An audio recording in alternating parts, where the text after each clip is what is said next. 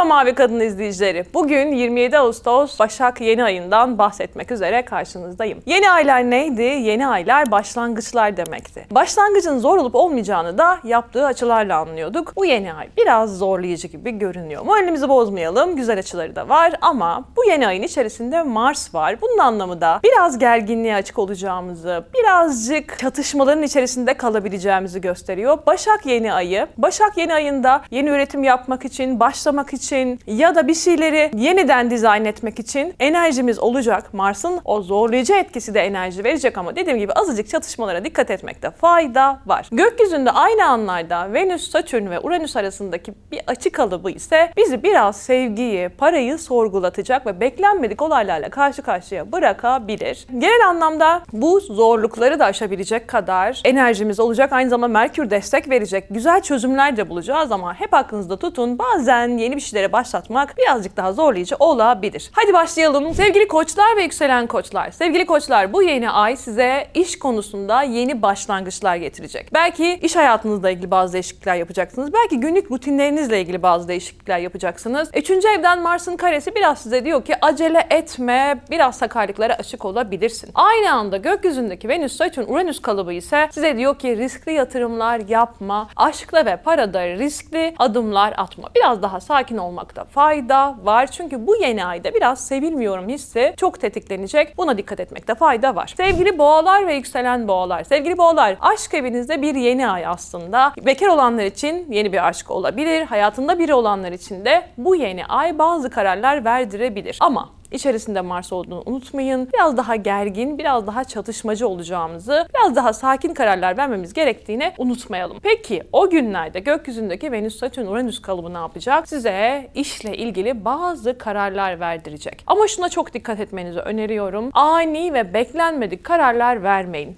Birazcık daha temkinli olun. Birazcık daha sürecin geçmesini bekleyin. Sevgili ikizler ve yükselen ikizler. Sevgili ikizler, aileyle ilgili kararlar vereceğiniz, aileyle ilgili belki taşınmak, belki ev değiştirmek, belki evle ilgili bazı kararlar vermek zorunda kalabilirsiniz. Ama bu kararlar sizi birazcık sıkıştıracak gibi görünüyor. Yani yoğunluğa yetişememek, her şeye yetişmeye çalışmak çok sizi yorabilir. Birazcık daha sakin olmakta fayda var. Gökyüzünde o gün Venüs, Satürn, Uranüs kalıbı ise size akademik kariyerle ilgili bir işiniz varsa, yurt dışı ile ilgili işleriniz varsa ya da bir seyahat planınız varsa bazı engellerle karşılaşabilirsiniz. Beklenmedik engeller olabilir bunlar. Sürecin geçmesini bekleyin. Artı eksi bir haftadır bütün etki. Sonrasında daha önünüzü görebiliyor olacaksınız. Sevgili yengeçler ve yükselen yengeçler. Sevgili yengeçler bu 27 Ağustos Başak yeni ayı sizin 3. evinizde gerçekleşecek. Seyahatler yapmak, eğitimler almak, iletişim fırsatları yakalamak, belki ticaretle uğraşıyorsanız yeni başlangıçlar yapmak için doğru zaman.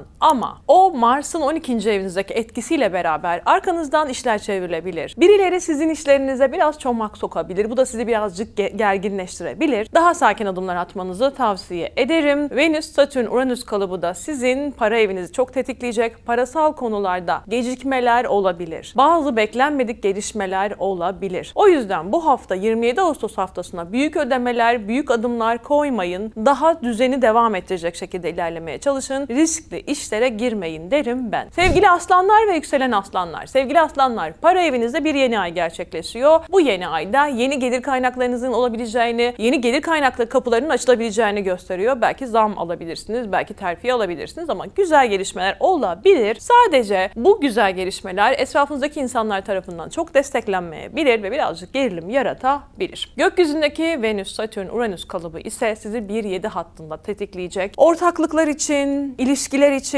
uzun süreli arkadaşlıklar için zor bir dönem olabilir. Bu dönem beklenmedik olaylarla karşılaşabilirsiniz. Sevilmiyorum hissi çok sizi tetikleyebilir. O yüzden bu dönemin geçmesini bekleyin. Birazcık daha karar vermek için. Çok ani kararlar vermeyin. Çünkü bazen böyle o sevilmiyorum hissi çok yanlış kararlar verdirebiliyor. Biraz beklemekte fayda var. Sevgili Başaklar ve yükselen Başaklar. Sevgili Başaklar ya güneşinizin üzerinde ya yükseleninizin üzerinde bir yeni ay gerçekleşiyor. Bunun anlamı da şu. Güzelleşeceksiniz, ışığınız parlayacak, daha dikkat çekecek geçireceksiniz. Ama iş yerindeki yoğunluk sizi birazcık yorabilir bu dönemde. Gökyüzündeki açık kalıbı da birazcık işle ilgili aksaklıklar, zorlanmalar, belki birazcık daha e, endişeler yaratabilir. Geçici bir etki. Bunu bilip buna göre davranırsak çok daha kolay ilerleriz. Sevgili teraziler ve yükselen teraziler. Sevgili teraziler bu yeni ay 12. evinizde gerçekleşecek. İç dünyamız diyoruz biz buraya. Birazcık daha melankolik, biraz daha kendimize döndüğümüz, birazcık daha e, yalnız kalma isteğimizin artacağı bir dönem.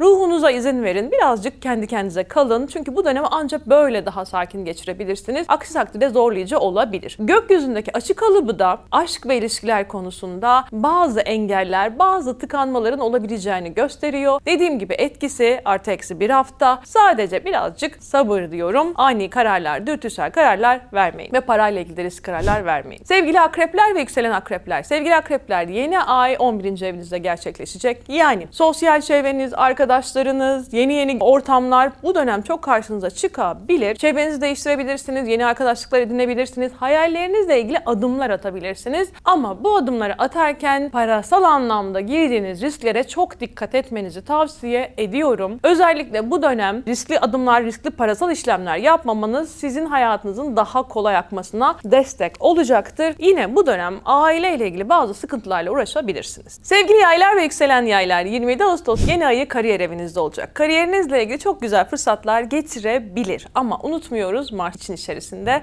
O yüzden birazcık gerilim, birazcık yoğunluk, birazcık çatışma olabilir. Hep biraz durun, derin nefes alın, sonra kariyerinizle ilgili kararları verin. Gökyüzünde zorlayıcı bir açık kalıbı var o günlerde. O da biraz diyor ki trafikte dikkat et, iletişimde birazcık zorluklarla karşılaşabilirsin, ona dikkat et. Günlük rutininde bazı beklenmedik olaylar olabilir, hazırlıklı ol. Dediğim gibi bu bir süreç, bir eksi artı bir hafta alır 27 Ağustos'tan itibaren. Günlerde birazcık daha temkinli olmakta fayda var. Sevgili oğlaklar ve yükselen oğlaklar, sevgili oğlaklar, akademik kariyer, yurt dışı eğitimler, sizin vizyonunuzu geliştirecek ortamlar, insanlar bu dönem size fırsatlar getirecek gibi görünüyor. Bu konularla ilgili şanslı olabilirsiniz. Ama günlük rutinlerinizle ilgili yoğunluğunuz bazen sizi biraz gergin hissettirebilir. Her şey aynı anda yapmamaya çalışın. Parasal konulara dikkat. Gökyüzündeki açık kalıbı bu hafta parasal risklere dikkat diyor. Beklediğimiz paralar gelmeyebilir, gecikebilir. Hep bunu bilerek adım atmak hayatımızı kolaylaştıracaktır. Sevgili kovalar ve yükselen kovalar. Sevgili kovalar, yatırım, yeni gelir kaynakları, davalar, mahkemeler, vergilerle ilgili konularla beklentileriniz varsa bu dönem sonuçlarını alabilirsiniz, adımlarınızı atabilirsiniz. Ama hep şunu aklınıza tutun. Bu hafta birazcık gecikmeleri de içinde barındıran bir hafta. Adımınızı atın. Gecikirse çok da gerilmeye gerek yok. Bu bir süreç devam eden bir süreç gibi düşünebilirsiniz. Bu hafta birazcık ilişkilerle ilgili de biraz özgürleşme isteğiniz çok artabilir. Biraz yalnız kalma isteğiniz artabilir. Bunu böyle biraz daha ani ve dürtüsel kararlar vermeden yapmanızı tavsiye ederim. Sevgili balıklar ve yükselen balıklar. Sevgili balıklar, ilişki evinizde bir yeni ay gerçekleşiyor. Yalnız olanlar için ilişki fırsatı, ilişkisi olanlar için de belki ilişkiyle ilgili karar verme haftası olabilir. Sadece şunu söylemek istiyorum. O Mars'ın tetiklediği açılar ve etkiler aileyle ilgili gerginlikleri çok getirebilir. Bu ilişkinizle ilgili verdiğiniz kararlarda olabilir. Birazcık daha sakin kararlar vermek hayatınızı kolaylaştıracak. Gökyüzündeki açık kalıbı da zor bir açık kalıbı. Tekrar söylüyorum. Venüs, Satürn ve Uranüs arasında bir açık kalıbı var. Zorlayıcı bir etkisi var. Bu da birazcık aşırı melankoli yapmanızı, aşırı abartmanızı sebep olabilir. O yüzden bu konulara dikkat ederseniz bu haftayı çok daha iyi geçirirsiniz. Bütün burçlara ve yükselen burçlara etkilerini tek tek anlattım. Kolay bir yeni ay değil. Yeni başlangıçlara vesile olacaktır elbette ama gerginliği yönetmek ve duygusal kararlar vermemek hayatımızı kolaylaştıracaktır. Videoyu beğenmeyi, abone olmayı ve bizi takip etmeyi unutmayın. Hoşçakalın.